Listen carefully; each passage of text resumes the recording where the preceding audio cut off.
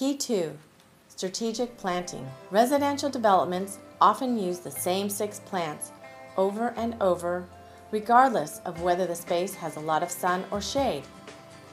The plants that are used are also usually too big for the location, and there are no planting layers. They are oftentimes hardy plants that can survive anything, but are also monotonous, static ornaments and lower the aesthetic value of a space rather than increase it. Rather, plants can be one of your most gorgeous assets.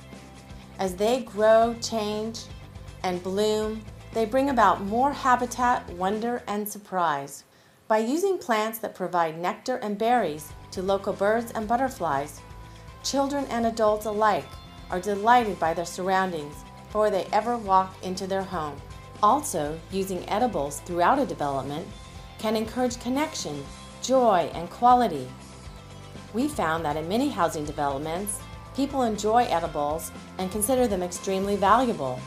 There is nothing more charming than being able to harvest citrus or other fruits and herbs from your own environment.